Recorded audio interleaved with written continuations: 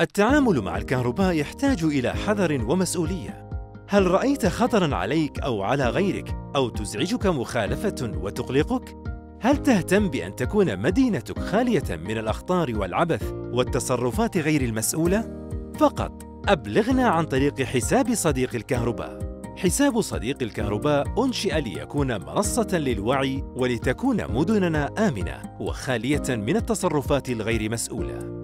مثلاً، لو شاهدت كابينة كهرباء أو كيبل كهرباء تم العبث به ويمثل خطراً على الناس، حدد موقع الملاحظة أو الخطر ونوع المخالفة، وذلك عن طريق الواتساب أو عبر تويتر.